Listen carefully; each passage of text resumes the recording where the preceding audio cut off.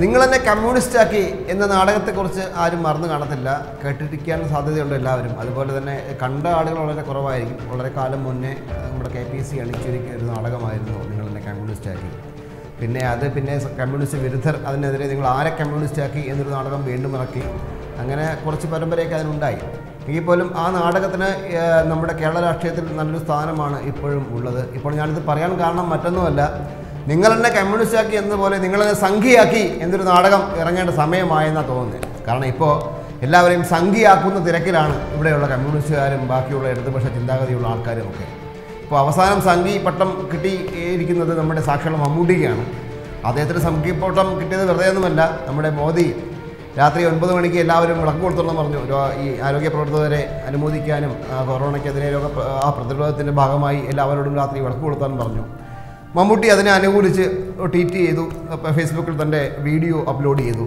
തുടർന്നാണ് നമ്മുടെ മഹാനായ നടൻ മമ്മൂട്ടിയെ നമ്മുടെ ഈ രാജ്യത്തെ ഇടതുപക്ഷ ചിന്താഗതിക്കാരും അതുപോലെ തന്നെ മറ്റുള്ള കമ്മ്യൂണിസ്റ്റ് കമ്മി ആൾക്കാരെല്ലാം കൂടി ചേർന്ന് മമ്മൂട്ടിയെ ഇപ്പോൾ സംഘിയാക്കിയിരിക്കുന്നത്.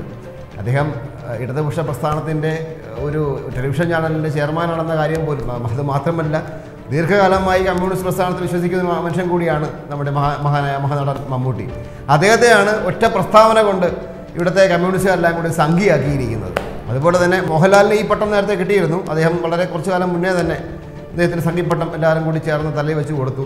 അത് നേരത്തെ സംഭവിച്ചാണ്. അതുപോലെ തന്നെ പല ആൾക്കാരും നമ്മുടെ സെൻകുമാർ ആയാലും അല്ലെങ്കിൽ ജാക്കബ് തോമസ് ആയാലും നമ്മുടെ ആര് മോദിയെ സ്തുതിച്ചാലും മോദിയുടെ ഏതെങ്കിലും ഒരു കാര്യത്തെപ്പറ്റി നല്ല കാര്യം പറഞ്ഞു കഴിഞ്ഞാൽ ഉടനെ അയാളെ സംഘിയാക്കി അവരോധിക്കുന്ന ഒരു സമയമാണ് ഇപ്പോൾ കേരളത്തിൽ നിലവിലുള്ളത്. അതുകൊണ്ടാണ് ഞാൻ പറഞ്ഞത് ഇപ്പോൾ അങ്ങനെ ഒരു നാടകത്തിന് പ്രസക്തിയുണ്ട്. നിങ്ങൾ എന്നെ സംഘിയാക്കി എന്നൊരു നാടകത്തിന് തീർച്ചയായും പ്രസക്തിയുണ്ട്. ഉടനെ തന്നെ നമുക്ക് പ്രതീക്ഷിക്കുകയും ചെയ്യാം.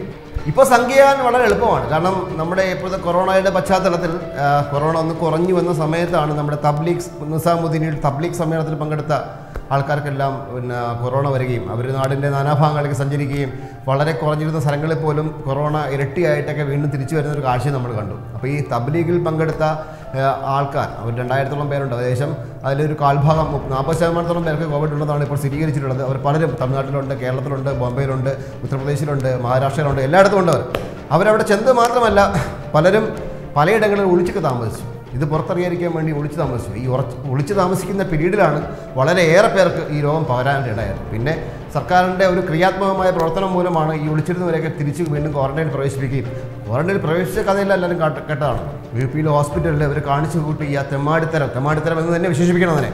അതായത് ഉടുവസ്ത്രം അഴിഞ്ഞിട്ട് നടക്കുക നഴ്സുമാരെ ഉടുവസ്ത്രം അഴിഞ്ഞ് കാണിക്കുക തുപ്പുക ബീഡിയും സിഗരറ്റും നിരന്തരമായി ചോദിച്ചുകൊണ്ട് അവരെ ബുദ്ധിമുട്ടിക്കുക. ഇങ്ങനെ അവർ കാണിച്ചു കൂട്ടിയ പേക്കൂത്തുകൾക്ക് ഒരു ഒരു ഒരു അവസാനമില്ല. അതിനെ അതിനെ വിശേഷിപ്പിക്കാൻ വേറെ വാക്കുകളില്ല. ആ രീതിയിലുള്ള പേക്കൂത്തുകളാണ് അവർ യു പിയിലൊക്കെ ഹോസ്പിറ്റലിലൊക്കെ കാണിച്ചു കൂട്ടിയത്. ഇതിനെപ്പറ്റി എന്തെങ്കിലും ഒരു വിമർശനം ഉന്നയിച്ചു കഴിഞ്ഞാൽ അപ്പം തന്നെ അയാളെ സംഖ്യയാക്കുന്ന ഒരു സംഭവം ഇപ്പം നിലവിലുണ്ട്. ഇങ്ങനെ ഒരു രാജ്യത്തിന് വിരുദ്ധമായി പ്രവർത്തിക്കുന്നവരെ കുറിച്ചോ അല്ലെങ്കിൽ മോദിയെക്കുറിച്ചോ എന്തെങ്കിലും സംസാരിച്ചു കഴിഞ്ഞാൽ ഉടനെ തന്നെ സംഖ്യയാക്കുന്ന ഒരു പ്രവണത. അത് അപകടകരമായ വിധത്തിലാണ് ഇപ്പോൾ കേരളത്തിൽ വളർന്നുകൊണ്ടിരിക്കുന്നത്. കോവിഡ് പത്തൊമ്പത് പടർന്നു പിടിച്ച പശ്ചാത്തലമൊക്കെ നമുക്കറിയാം. ആ സമയത്ത് നമ്മുടെ ശൈല ടീച്ചർ വളരെ ആക്റ്റീവായിരുന്നു. അവർ എല്ലാ ദിവസവും പ്രദർശനം നടത്തി കാര്യങ്ങളൊക്കെ പറഞ്ഞു. അങ്ങനെ കുറച്ച് മുന്നോട്ട് പോയ സമയത്താണ് ടീച്ചർക്ക് ഇങ്ങനെ ഒരു മതിഭ്രമമാണോ? ടീച്ചർക്ക് ഇങ്ങനെ ഒരു മീഡിയ മാനിയ ഉണ്ടോ എന്നൊക്കെ ഉള്ള നാല് വർഷം വാർത്തകൾ വന്നു. ആ വാർത്തകളുടെ ഉറവിടം തന്നെ അന്വേഷിക്കേണ്ടതാണ്. എന്നാൽ നമ്മൾ പിന്നീട് കണ്ട കാഴ്ച ശ്രീമതി ടീച്ചറെ മാനിയ എന്ന് കളിയാക്കിയവർ തന്നെ പിണറായി അംഗീകരിക്കുന്ന ലെവലിലേക്ക് കാഴ്ചകൾ മാറുന്നൊരു സംഭവം നമ്മൾ കണ്ടു. കാരണം എല്ലാ ദിവസവും ടീച്ചർ ഇങ്ങനെ പത്രസമ്മേളനം നടത്തുന്നു എന്നായിരുന്നു ഈ വിരോധികളുടെയൊക്കെ ഒരു പരാതി. പക്ഷേ ആ സ്ഥാനത്തേക്ക് പിണറായി വന്നപ്പോൾ ആ പരാതികൾ ഇപ്പോൾ കേൾക്കാറില്ല. കാരണം അത് വ്യക്തമാണ്. അപ്പം തന്നെ അത് വ്യക്തമാണ്. എവിടെ നിന്നാണ് ആ പാതി വന്നതും എങ്ങനെയാണ് ആ പ്രശ്നം കുത്തിപ്പൊക്കിയതെന്നും വ്യക്തമാണ്. ഇപ്പോൾ ടീച്ചർ ദിവസവും നടത്തിയിരുന്ന പത്രസമ്മേളനം പിണറായി ഏറ്റെടുത്തിരിക്കുകയാണ്. അദ്ദേഹം ഇങ്ങനെ എല്ലാ ദിവസവും വൈകുന്നേരം പത്രസമ്മേളനം നടത്തി കാര്യങ്ങളൊക്കെ വിശദീകരിക്കുകയാണ്.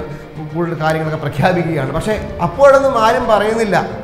ഇത് പിണറായിക്ക് മീഡിയ മാനിയാണെന്നൊന്നും ആരും പറയുന്നില്ല. അപ്പോൾ ഇതിൽ നിന്ന് വ്യക്തമാണ് ശൈലജ ടീച്ചർ പത്രസമ്മേളനം നടത്തിയപ്പോൾ ഇങ്ങനെയുള്ള ആരോപണം കൊണ്ടുവന്നത് ആരാണ് എന്തിനാണെന്നുള്ള കാര്യം ഇപ്പോൾ ഏകദേശം ആൾക്കാർക്ക് വ്യക്തമായി കഴിഞ്ഞു. ഇപ്പോൾ ചിത്രത്തിൽ നിന്ന് തന്നെ മാറ്റി നിൽക്കുന്ന ഒരു അവസ്ഥയാണ്.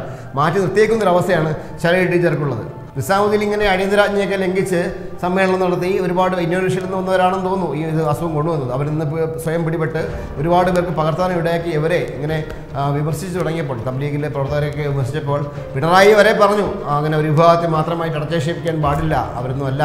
ഇവിടെ ആരും ഒരു വിഭാഗത്തെ അടച്ചാക്ഷേപിച്ചില്ല ഇങ്ങനെ ഈ ഒരു സമയത്ത് ഇപ്പോൾ ആരില്ല ആ സമയത്ത് കുംഭമേള നടന്നാലും നമ്മൾ പറയും. കുംഭമേള നടക്കാൻ പാടില്ല എന്ന് പറയും. അതുപോലെ തന്നെ ആ സമയത്ത് പള്ളിയിൽ എന്തെങ്കിലും ഒരു സംഭവം നടത്താനും പറയും. പള്ളിയിൽ ഇങ്ങനെ ഒരു നടക്കാൻ പാടില്ല പെരുന്നാൾ നടക്കാൻ പാടില്ല ഇത് ഇങ്ങനെ എല്ലാവരും എല്ലാ മതസ്ഥരും എല്ലാ സംഭവവും ഉപേക്ഷിച്ചാണ് ഇപ്പോൾ ഈ കോവിഡ് പത്തൊമ്പത് കൊറോണയ്ക്കെതിരെ ഒരുമിച്ച് പോരാടുന്നത്. ആ സമയത്താണ് തബ്ലീഗ് സമ്മേളനം നടത്തിയതാണ് അതാണ് ഇതിന്റെ ഒരു കുറ്റകരമായി എല്ലാവരും ചൂണ്ടിക്കാട്ടുന്നത് പക്ഷേ അങ്ങനെ ചൂണ്ടിക്കാട്ടുന്നവരെ പോലും സംഖ്യയാക്കുന്ന ഒരു നിലപാടാണ് ഇപ്പോൾ നാല് ഭാഗത്തു നിന്ന് പ്രത്യേകിച്ച് ഇടതുപക്ഷ ചിന്താഗതിയുള്ള ആൾക്കാരുടെ ഭാഗത്തു നിന്ന് ഉണ്ടായിക്കൊണ്ടിരിക്കുന്നത്. ഈ ഒരു സാധ്യത കൂടിയുണ്ട്. നമ്മുടെ മോഹൻലാൽ ഇന്നലെ അൻപത് ലക്ഷം രൂപ മുഖ്യമന്ത്രിക്ക് നൽകി. എന്നിട്ട് അദ്ദേഹത്തോട് പറഞ്ഞു അങ്ങയുടെ നേതൃത്വം എല്ലാ കാലത്തും സ്മരിക്കപ്പെടും എന്നൊരു കാര്യം കൂടി മോഹൻലാൽ പറഞ്ഞു. ഇനി ആ ഒരു കാരണം കൊണ്ട് ഈ സംഘികളൊക്കെ ഇനി മോഹൻലാലിനെ കമ്മിയാക്കുമോ എന്നിനി നോക്കി കാണണം. കാരണം വളരെ കാലമായി സംഘി കിരീടം തല്ലിൽ ചൂടി നടക്കുന്ന ഒരാളാണ് മോഹൻലാൽ. അദ്ദേഹം ഈ പ്രസ്താവന നടത്തേണ്ട പേരിൽ ഒരു പക്ഷേ ആ കിരീടം ഊരി വെച്ച് സംഘികളൊക്കെ കമ്മിയുടെ കിരീടം എടുത്ത് തല്ലി വെക്കാനുള്ള ഒരു സാധ്യത തള്ളിക്കളയാനാകില്ല അത് നടക്കാൻ സാധ്യതയുണ്ട്. ഇനി ഒരു വാർക്കഷണം കൂടി പറയാനുണ്ട്. അത് മറ്റൊന്നുമല്ല നമ്മുടെ അമേഠി എല്ലാവർക്കും അറിയാമല്ലോ അമേഠി പ്രശസ്തമായ ഒരു നിയോജക മണ്ഡലമാണ്. വർഷങ്ങളായി രാഹുൽ ഗാന്ധിയും സോണിയാഗാന്ധിയും ഒക്കെ നിരന്തരം മത്സരിച്ച് ജയിച്ചു പോകുന്നൊരു മണ്ഡലമാണ്. അവിടെ കഴിഞ്ഞ പ്രാവശ്യത്തെ ഇലക്ഷനിൽ ഏകദേശം അമ്പതിനായിരം വോട്ടിന്റെ വ്യത്യാസത്തിൽ നമ്മുടെ സ്മൃതി ഇറാനി നമ്മുടെ രാഹുൽ ഗാന്ധിയെ പരാജയപ്പെടുത്തി. രാഹുൽ ഗാന്ധി ആ പരാജയം മുൻകൂട്ടി കണ്ടുകൊണ്ട് തന്നെ നമ്മുടെ വയനാട്ടിൽ വന്ന് പിന്നെ മത്സരിച്ചതൊക്കെ എല്ലാവർക്കും അറിയുന്ന കാര്യമാണ്. അവിടെ അദ്ദേഹം നല്ല ഭൂരിപക്ഷത്തിൽ ജയിക്കുകയും ചെയ്തു. ഇപ്പോൾ രാഹുൽ ഗാന്ധി ഈ അമേഠിയിൽ ഒരു ട്രക്ക് ഗോതമ്പും മറ്റ് സാനിറ്റൈസറൊക്കെ അയച്ചു. അങ്ങനെ തന്റെ ഞാൻ തന്റെ തോപ്പിച്ച മണ്ഡലമാണെങ്കിൽ കൂടി താൻ അവരിന്ന് മറന്നിട്ടില്ല എന്ന് കാണിക്കാൻ വേണ്ടി അദ്ദേഹം ഇത്രയും സാധനങ്ങളൊക്കെ അവിടെ അയച്ചു എത്തിച്ചു. നല്ല കാര്യം. പക്ഷേ സ്മൃതി ഇറാനി ചെയ്തത് മറ്റൊന്നാണ്.